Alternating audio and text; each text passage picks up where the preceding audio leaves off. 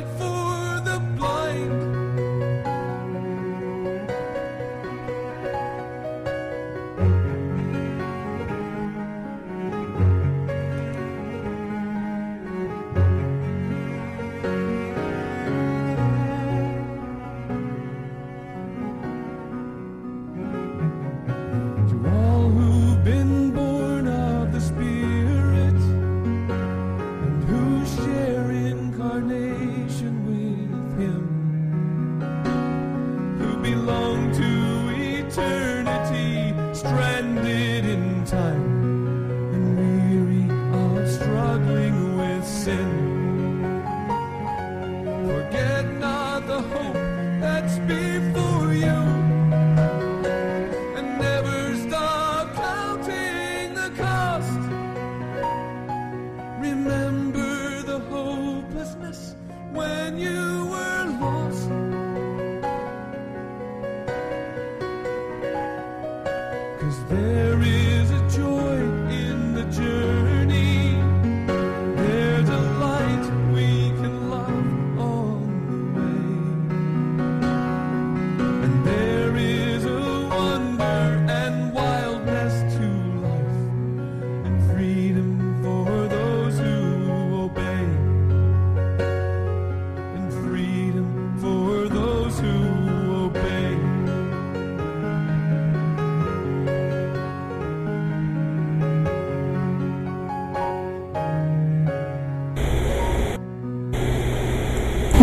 listening to Soul Cafe Radio, your online escape to the everyday. Now here is our host, the Word Master.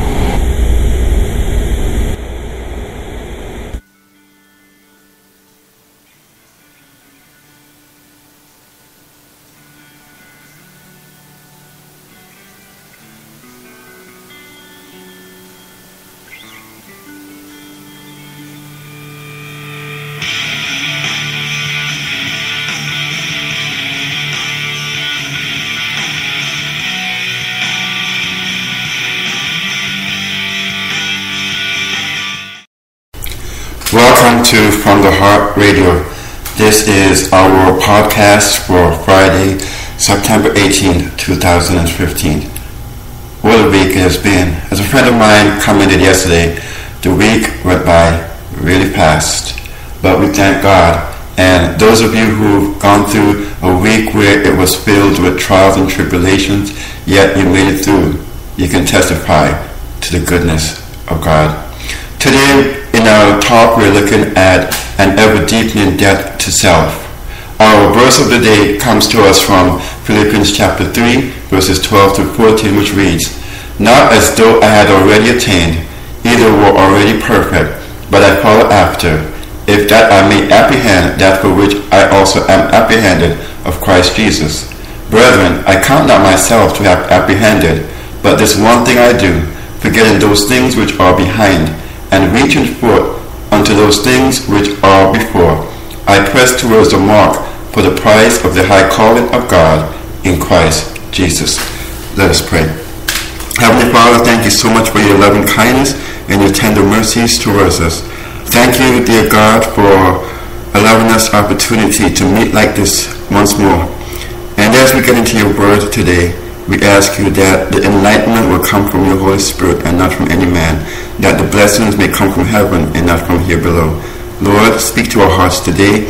Give encouragement and hope and strength to your people as we deliberate on these matters today. We pray in Jesus' name. Amen. At this time, I'd like to share with you an item from ChristianHeadlines.com, which I think very interesting in a lot of current events in our world history. You know, one things that we see happening is that these churches are united, different congregations putting aside their creeds and their bylaws and their constitutions and their church governance to come together to agree.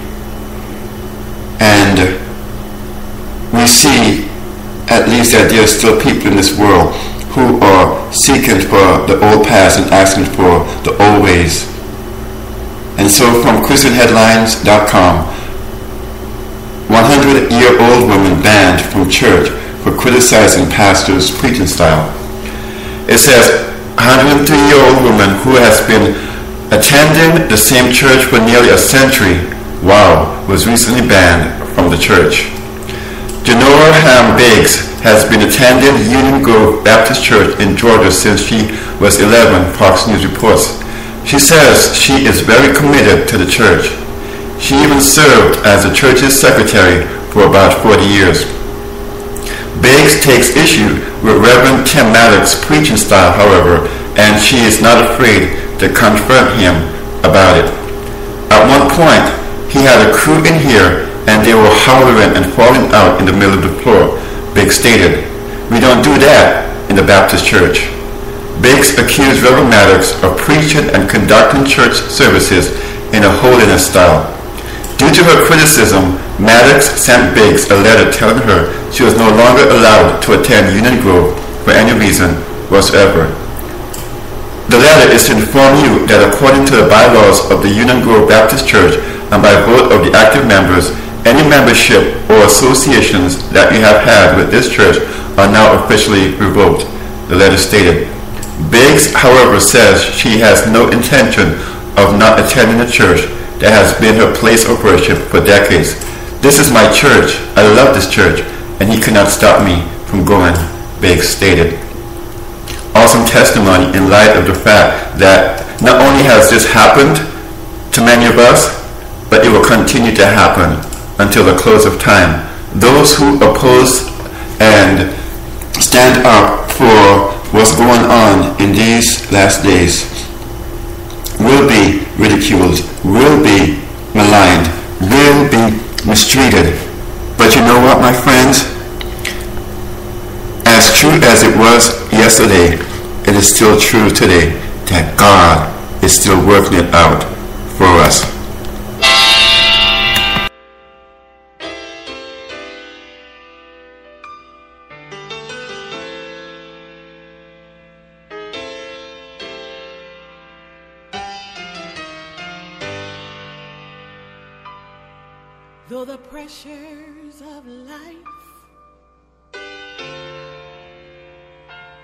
Seem to weigh you down, down, down, and you don't know which way to turn. God is concerned and he's working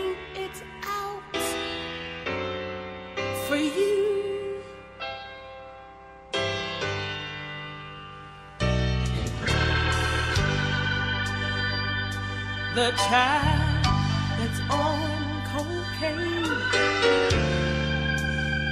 Through prayer you can change,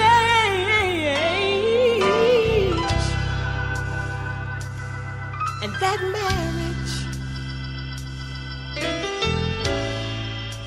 it's on the verge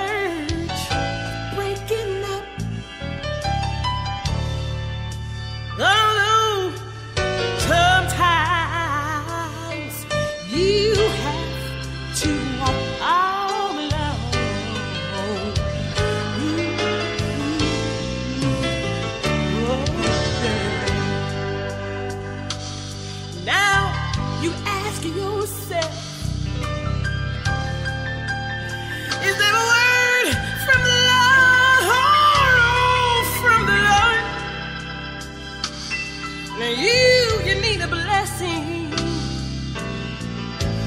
and you need it right away.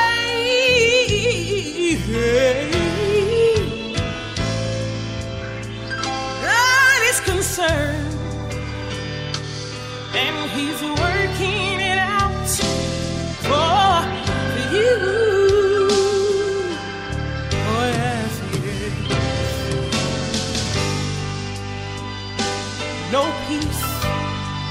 in your home. And there's no peace on your job.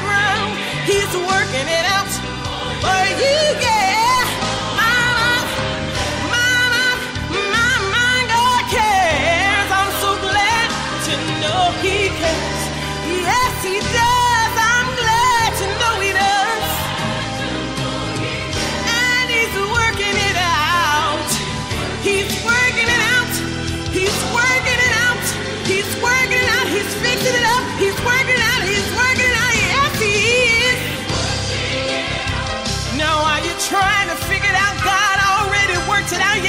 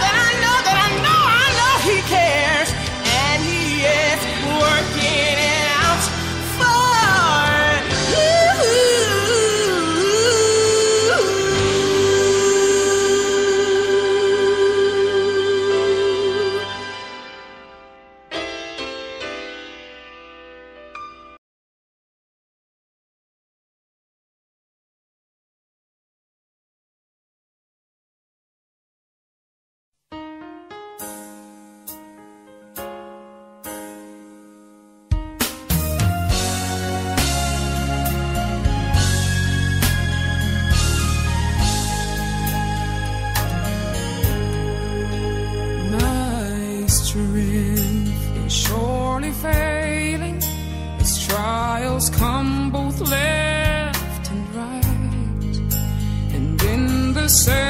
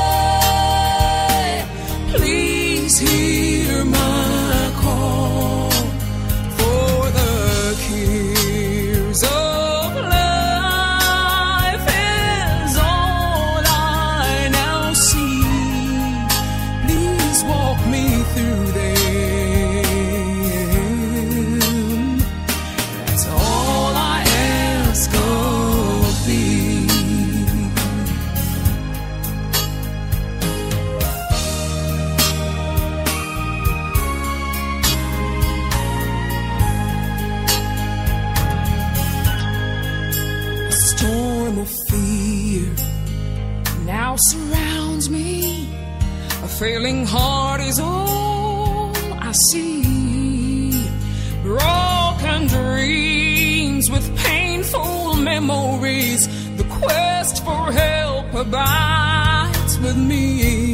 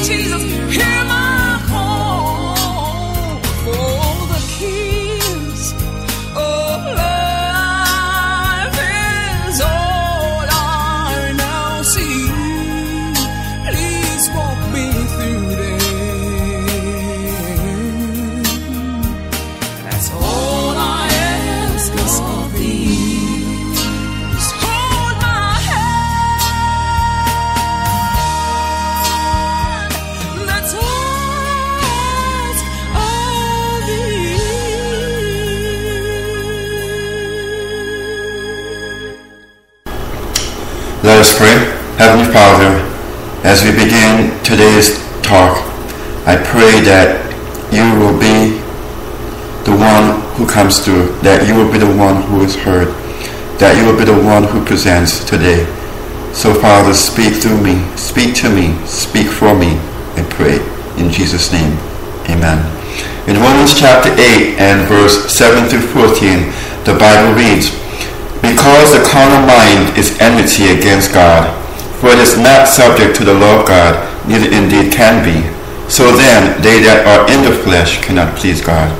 But ye are not in the flesh, but in the Spirit. If so be that the Spirit of God dwells in you.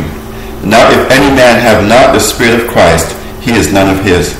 And if Christ be in you, the body is dead because of sin, but the Spirit is life because of righteousness. For if ye live after the flesh, ye shall die. But if ye through the Spirit do mortify the deeds of the body, ye shall live. For as many as are led by the Spirit of God, they are the sons of God. As we begin this morning, I just want to lay the framework of the thought. You know, today many people are raised up, Christians I'm talking about, believing that we can never be perfect, but we just keep striving to be. The Bible here tells us that no, that is a lie. And from the heart is not just from any heart, it is from the heart of God. And He will not lie to you, and His word declares that we are not just going to be striving continually, endlessly, but we'll come to a point where we are walking in the Spirit and being led by the Spirit. Even though that there'll continue to be a struggle between the Spirit and the flesh, there'll come a point when the flesh no longer conquers the Spirit, the mind. But because modern day preachers and teachers want people to keep on coming to them, depending upon them, they continue to perpetuate such lies. In fact, we read in 2 Timothy chapter 4 and verse 3. Paul declared to Timothy the time will come when they will not endure sound doctrine, but after their own lust shall they heap to themselves teachers having itching ears, and they shall turn away their ears from the truth, and shall turn unto fables. 2 Timothy chapter 4, verse 3. The apostle does not here refer to the openly irreligious, but to the professing Christians who make inclination their guide and thus become enslaved by self. Such are willing to listen to those doctrines only that do not rebuke their sins or condemn their pleasure-loving course. They are offended by the plain words of the faithful servants of Christ and choose teachers who praise and flatter them. And, here we go, and among professing ministers, there are those who preach the opinions of men instead of the word of God. Unfaithful to their trust, they lead astray those who look to them for spiritual guidance. So, why is it so important that we preach that we can overcome sin? In fact, we must overcome sin. Why is it important? Because, my friend, the heart of the gospel is that Jesus Christ came into this world to save sinners, not in sin, but from their sins, from our sins. And so, if at the heart of the gospel, if the mission of Christ is to save sinners from sin, then why do preachers continue to tell their people that yes, they can continue living in sin, that grace covers it all? Like I said, it's all carefully orchestrated so that they can keep on getting their money, your money, my money. It's all it's about, my friends, but today I want to bring this message to you so that you can know that there is indeed a fight that is on.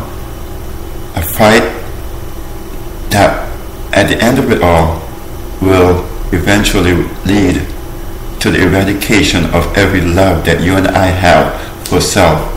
And no matter the preacher, no matter the teacher, when the Spirit of God gets a hold of us and gives us this understanding, no matter what they say, it will not hold sway because we will know the truth, and the truth indeed will set us free. The law obeyed leads men to deny ungodliness and worldly lust, and to live soberly, righteously, and godly in this present world. Titus 2.12. Not in the future, but right now. We must be this way right now. Titus 2.12. But the enemy of all righteousness has taken the world captive and has led men and women to disobey the law. As Paul foresaw, multitudes have turned from the plain certain truths of God's word and have chosen teachers who present to them the fables they desire. Many among both ministers and people are trampling under their feet the commandments of God. Thus the creator of the world is insulted, and Satan laughs in triumph at the success of his devices. Notice in wanting to promote that God's grace covers, that God has done away with the law and etc. etc. just to make it seem that all those things that were supposed to be quote unquote Old Testament are no longer valid and binding. When you do away with the law of God, mankind will eventually do away with the laws of man themselves, and you have an immoral, uncivilized society. And that's the result, and that's why Satan is laughing. Because no one wants to die to self. Everyone wants to live for self, live to self, live selfishly. And so, when someone comes with a message that there needs to be an ever deepening debt to self, it's, me- it's met with resistance. Human beings themselves, given to evil, are prone to deal untenderly with the tempted and the erring. They cannot read the heart. They know not its struggle and its pain. Of the rebuke that is love, of the blow that wounds to heal, of the word, of the warning that speaks hope, they have need to learn. Ah, my friends, see, that's end result. We become so used to ourselves, used to promoting ourselves, that we can't see past ourselves. And when someone is hurting, even though we genuinely want to give them encouragement and hope, because we are so consumed with our own thoughts and opinions. That's what we need. That's what we transfer because you cannot give others what you yourself don't have. And by the grace of God, by the end of this presentation today, some one of us will say, I don't want to live this way anymore. If Christ is in you, the hope of glory, you will have no disposition to watch others, to expose their errors. Instead of seeking to accuse and condemn, it will be your object to help, to bless, and to save. In dealing with those who are in error, you will heed the injunction, consider thyself, lest thou also be tempted. Galatians 6.1 You will call to mind the many times you have erred and how hard it was to find the right way when you had once left it. You will not push your brother into greater darkness, but with a heart full of pity will tell him of his danger. He who looks often upon the cross of Calvary, remembering that his sins placed the Savior there, will never try to estimate the degree of his guilt in comparison with that of others. He will not climb upon the judgment seat to bring accusation against another. There can be no spirit of criticism or self exaltation on the part of those who walk in the shadow of Calvary's cross. And this does not come by accident, by chance, by circumstance. It does not come with us constantly hearing, oh, all you have to do is keep on striving. That there will never come a point when you will be sinless, when you will not stop sinning. My friends, you see what those lies produce? Not only does it breed negativity in us, it also causes us to transfer that negativity to others because we have not allowed the Spirit to cut down every defect of character that's within us. It continues to rise up and to block our view others. And so, therefore, when someone is hurting and in pain and their soul is in anguish, the words that you seek to use to heal do more harm than good. And even though we are called, as we just saw, to be people who are not afraid to rebuke sin, yet let us not be a people who seek to repulse the sinner. Take note. Not until you feel that you could sacrifice your own self dignity and even lay down your life in order to save an erring brother have you cast a beam out of your own eye so that you are prepared to help your brother. Then you can approach him and touch his heart. No one has ever been reclaimed from a wrong position by censure and reproach, but many have thus been driven from Christ and led to seal their hearts against conviction. A tender spirit, a gentle winning deportment may save the erring and hide a multitude of sin.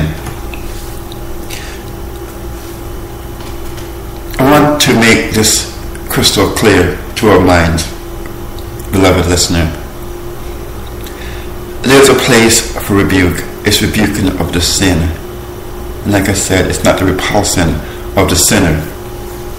And therefore, we have a work to do in going into our prayer closets and not coming out until we know for sure that the words of Scripture have been fulfilled.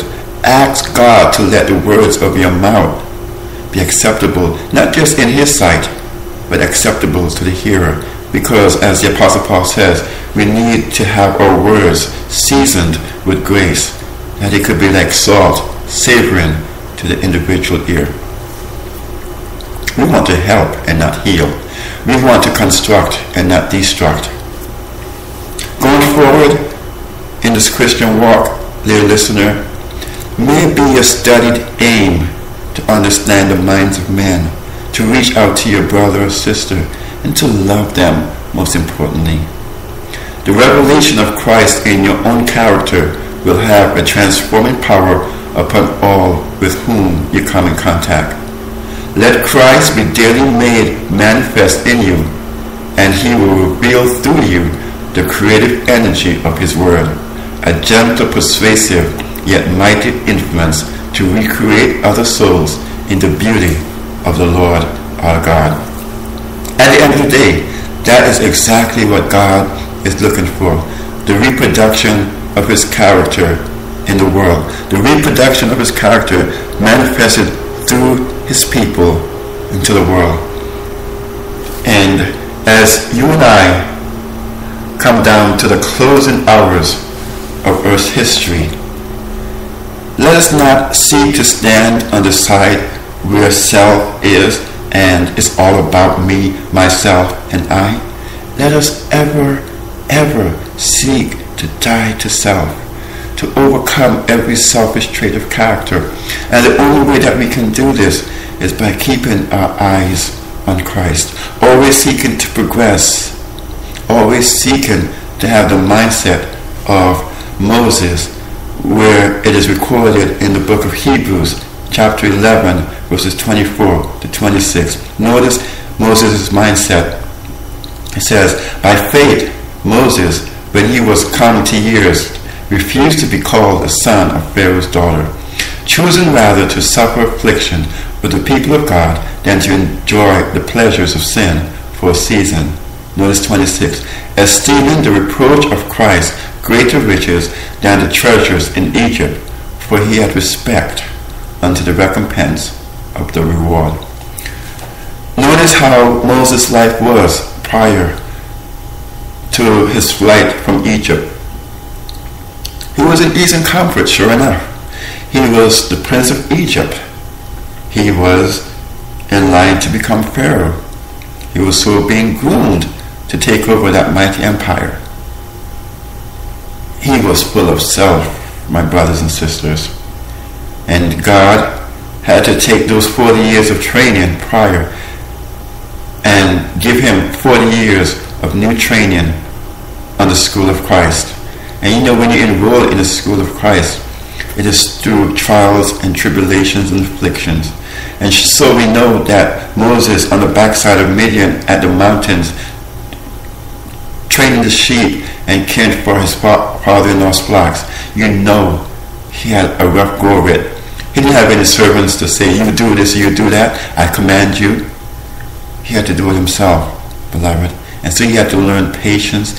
He had to learn all the Christian graces that we're learning today. Because God would be calling him for the last 40 years of his life to lead his sheep. And he must have a heart, a heart after God that will tenderly yet persuasively lead the children of Israel. And so he forsook all that he knew of self, even bearing the reproach of those whom he was called to help to deliver, being stoned at one point. My friends, as we close out today, notice these words that we alluded to earlier. There can be no growth or fruitfulness in the life that is centered in self.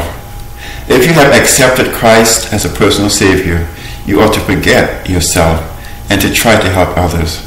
Talk of the love of Christ. Tell of His goodness. Do every duty that presents itself. Carry the burden of souls upon your heart, and by every means in your power, seek to save the lost.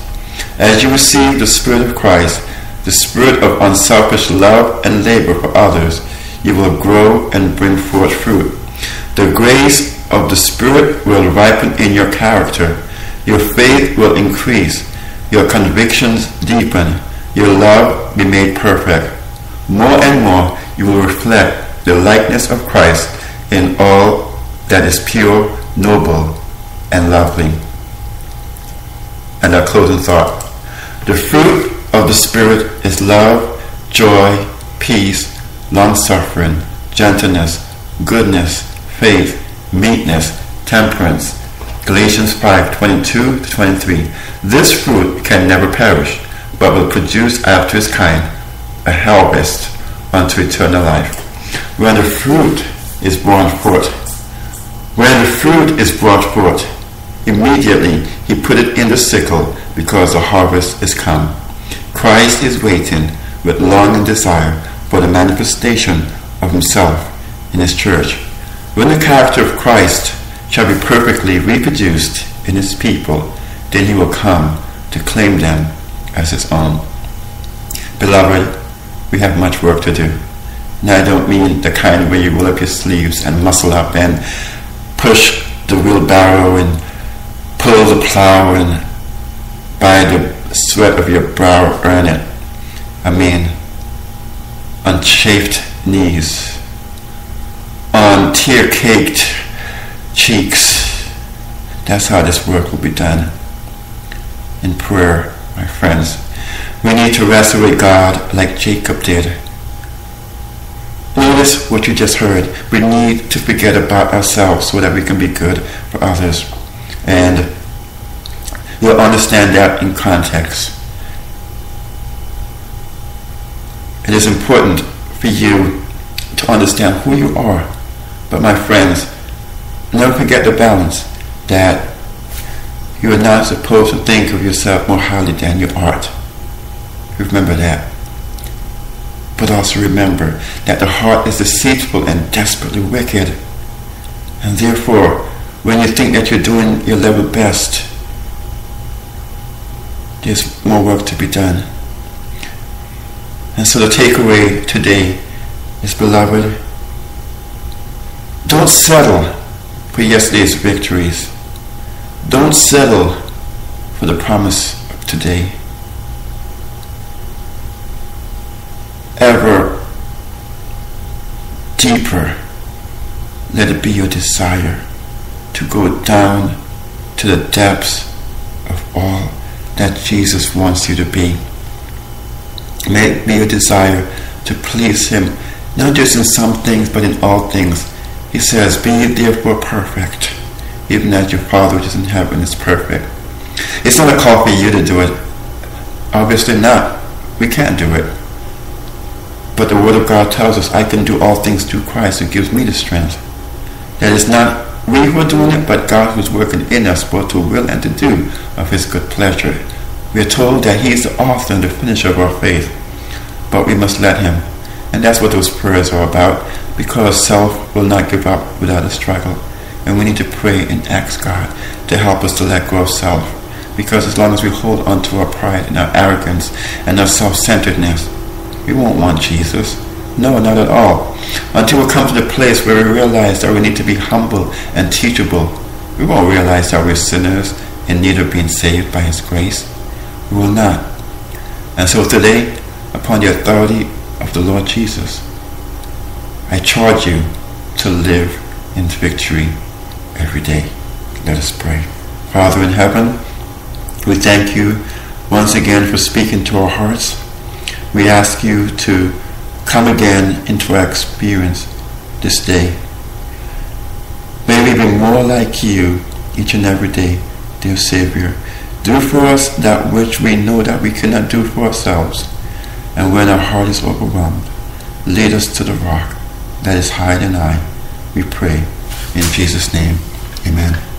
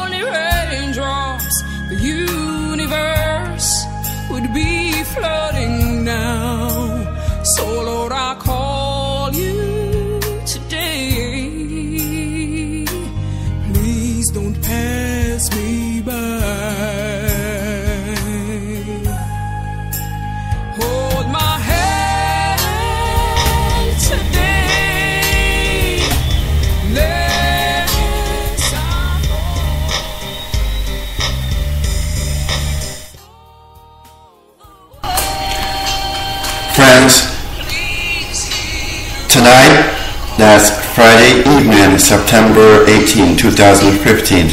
I'm inviting you to tune in to a very special Bible study, unlike any that you've probably heard. That's at 7 p.m. Eastern Time. You can listen in right here on Soul Cafe Radio. Go to our website at soulcafeonline.com slash radio and bookmark the page because you'll need to go from there to listen to our presentation online or you can call in to the conference line number which is area code 712 432-1680 712-432-1680 For more information, please visit our website at soulcafeonline.com. The study is entitled Rewiring the Circuits of the Mind. Rewiring the Circuits of the Mind. How we can stop listening to the words of the Prince of Lies.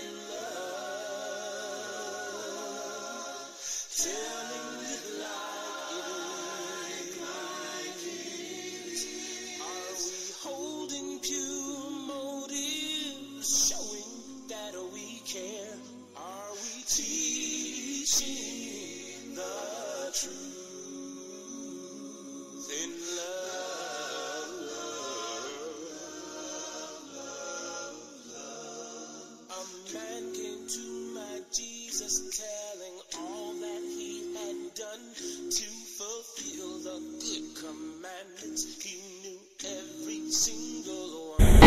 You have been listening to Soul Cafe Radio. Join us next time for power music, messages, and more. Remember to visit our website at www.soulcafeonline.com.